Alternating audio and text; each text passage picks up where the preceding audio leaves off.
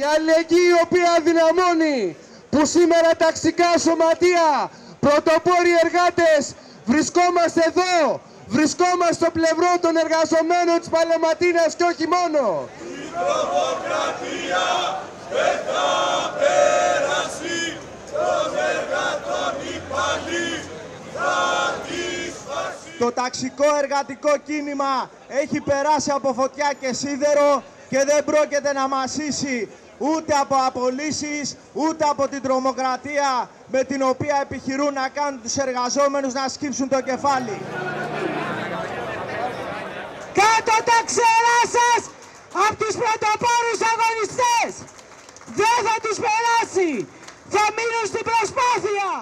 Είναι μια ξεδιάτροπη πολιτική που λέμε πολύ καθαρά δεν πρόκειται να περάσει. Ιδιαίτερα σε αυτές τις συνθήκες όπου οι επιχειρηματικοί όμιλοι συνεχίζουν να συσσωρεύουν εκατομμύρια ευρώ, συνεχίζουν να αποσπούν εκατομμύρια ευρώ από τα Ταμεία Ανάπτυξης και ο κόσμος δεν έχει να ζεσταθεί, ο κόσμος δεν έχει να φάει, αν νομίζει η κυβέρνηση ότι με τις απολύσεις των εργαζομένων και ιδιαίτερα με τις απολύσεις συνδικαλιστών θα ατομοκρατήσει το κίνημα των εργαζομένων, είναι πολύ γελασμένη.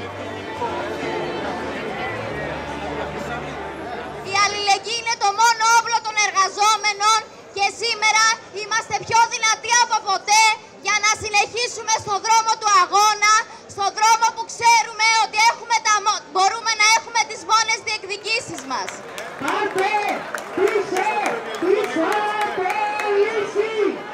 Καλούμε τα σωματεία της Ομοσπονδίας να πάρουν αποφάσεις ενάντια στις εκδικητικές απολύσεις των πρωτοπόρων εργαζομένων στη Μαλαματίνα που πάνω από δύο μήνες δίνουν μάχη.